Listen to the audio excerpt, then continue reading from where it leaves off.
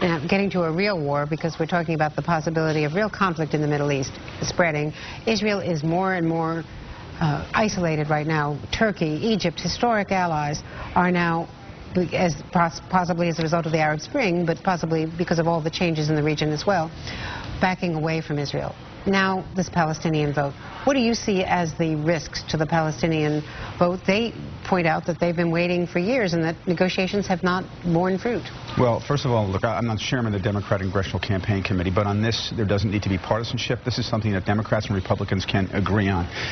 Every time the Palestinians and the Arab world, world sh uh, have shown up for negotiations with Israel, Israel has shown up, and Israel has made painful concessions. For the Palestinian leadership now to say that they refuse to negotiate, uh, and instead they're going to rush to the United Nations and seek unilateral uh, recognition of their sovereignty, defies history, uh, and is exceedingly dangerous. And so I've introduced a very simple resolution in Congress uh, that uh, any nation in the United in the UN that votes to unilaterally recognize a Palestinian state uh, is subject to a cutoff of their foreign military financing.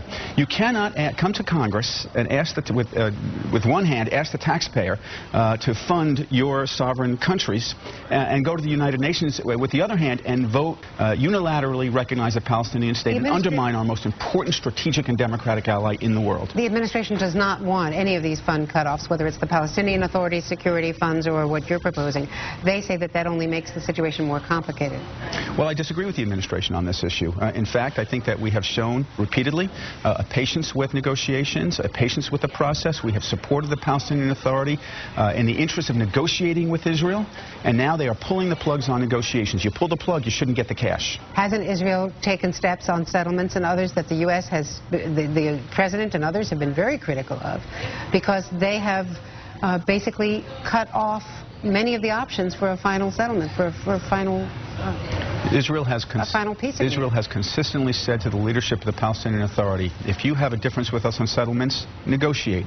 If you have a difference with us on building permits, negotiate. If you have a difference with us on any of these issues, negotiate.